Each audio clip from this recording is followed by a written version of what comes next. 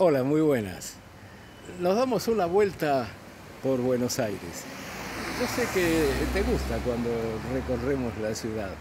Te estoy mostrando un pasaje, un pasaje que tiene apenas una cuadra de extensión, tranquilo, muy tranquilo. Cada tanto pasa un auto, como ese de recién.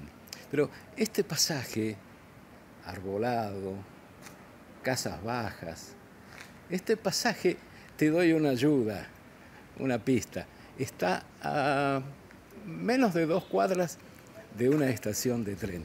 Este pasaje tiene el nombre de uno de los grandes de nuestra literatura, Horacio Quiroga, alguien cuya, cuya vida fue tan trágica como, como varios de sus cuentos, ¿verdad?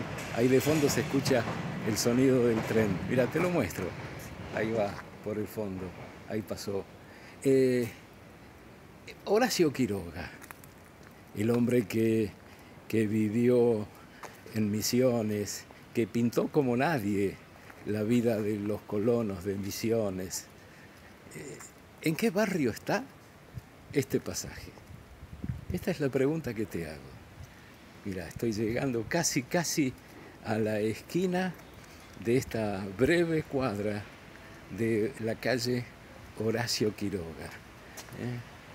Y la pregunta es, ¿en qué barrio de Buenos Aires está la calle Horacio Quiroga?